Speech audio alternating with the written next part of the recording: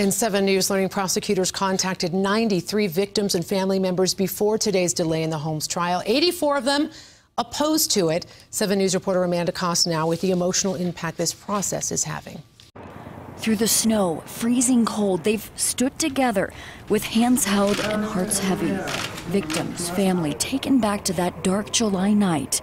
Emotional, mental wounds from the Aurora Theater tragedy reopened in court draining days filled with tears, intense testimony, evidence. Right now, everybody wants to hear a plea. Guilty, not guilty, insanity. Now, that plea is 60 days away. It's just a disappointment, you know, you want to know what he's going to say, and then, then you can start thinking what's further to come. But now my mind is set on pause. Yousef Gharbi, scarred from being shot in the head, a teenage survivor with the wisdom to know his pursuit of justice requires patience.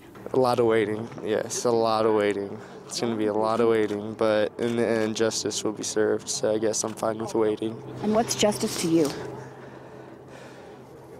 I guess whatever the jury or, or the judge decides, I mean, they, they know best. My closure was seeing my son walk and talk and breathe and, you know, be up and out of hospitals and rehabs in 35 days. In 7 News and the DenverChannel.com will bring you the very latest on the search for justice for the theater shooting victims.